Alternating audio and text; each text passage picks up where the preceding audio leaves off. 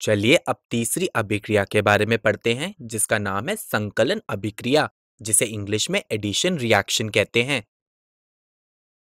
पहले इसका अर्थ समझते हैं, एक ऐसी अभिक्रिया, जिसमें असंतृप्त हाइड्रोकार्बन किसी दूसरे तत्व के साथ जुड़कर सिर्फ़ एक उत्पाद प्रदान करे, वह संकलन अभिक्रिया कहलाती है। पर यहाँ कौन कौन से तत्व जुड़ सकते हैं? तत्व जैसे कि हाइड्रोजन, क्लोरीन और ब्रोमीन। ध्यान दे, संकलन अभिक्रिया में हम सिर्फ़ असंतृप्त हाइड्रोकार्बन ही लेंगे। संतृप्त हाइड्रोकार्बन नहीं। ऐसा क्यों? चलिए देखते हैं। एक संतृप्त हाइड्रोकार्बन का उदाहरण लेकर इसे समझते हैं।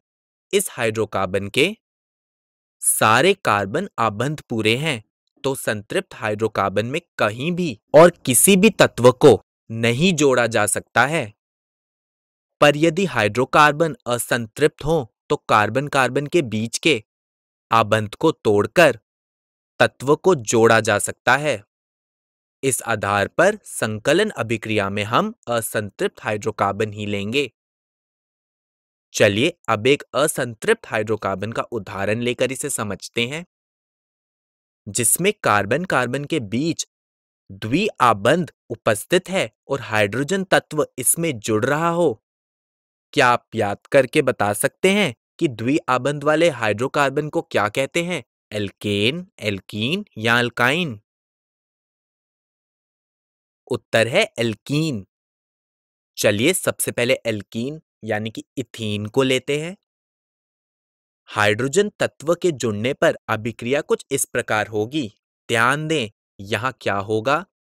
सबसे पहले कार्बन कार्बन के बीच का आबंध टूटेगा और संयोजकता को पूरा करने के लिए उनकी जगह हाइड्रोजन आकर जुड़ जाएगा। और अभिक्रिया कुछ इस प्रकार होगी। तो एक असंतृप्त हाइड्रोकार्बन में हाइड्रोजन के जुड़ने से संतृप्त हाइड्रोकार्बन बनने की अभिक्रिया को हाइड्रोजनीकरण कहते हैं, जिसे इंग्लिश में हाइड्रोजनेशन कहते हैं। और आमतौर पर यह अभिक्रिया उत्प्रेरक की उपस्थिति में होती है, जिन्हें इंग्लिश में कैटलिस्ट कहते हैं। उत्प्रेरक जैसे कि निकल और पैलेडियम। क्या कोई बता सकता है अभिक्रिया में उत्प्रेरक का क्या काम होता है? उत्प्रेरक ऐसे पदार्थ होते हैं, जिनके कारण अभिक्रिया भिन्न दर से आगे बढ़ती है। अभिक्रिया को प्रभावित करे बिना। इस अभिक्रिया में हमने निकल उत्प्रेरक का उपयोग किया है। क्या आप जानते हैं इस अभिक्रिया का एक महत्वपूर्ण व्यवसायिक अनुप्रयोग क्या है? इस अभिक्रिया का उपयोग वनस्पति तेल से वनस्पति घी को बनाने के काम में लाया जाता है। वनस्पति तेल में लंबी, असंतृप्त कार्बन श्रृंखलाएँ होती हैं और वनस्पति घी में संतृप्त कार्बन श्रृंखला होती है।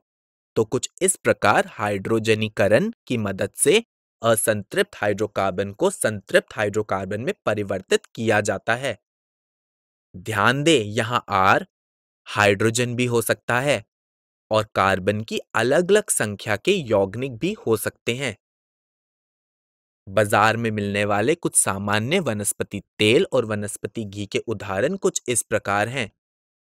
क्या आप जानते हैं वनस्पति तेल स्वास्थ्य के लिए अच्छे होते हैं? और वनस्पति घी भी हमारे स्वास्थ्य के लिए हानिकारक होते हैं, यदि इन्हें ज़्यादा मात्रा पे उपयोग किया जाए? इसलिए आपको सलाह दी जाती है कि भोजन पकाने में वनस्पति तेल का ही उपयोग करें। वीडियो को रोकें और हाइड्रोजनीकरण की परिभाषा को कॉपी में नोट कर लें। चलिए एक प्रश्न का उत्तर दें। बोर्ड पर दर्शाए जा रहे हाइड्रोकार्बन में से बताएँ किन किन में संकलन अभिक्रिया संभव है। वीडियो को रोकें और इसे हल करें।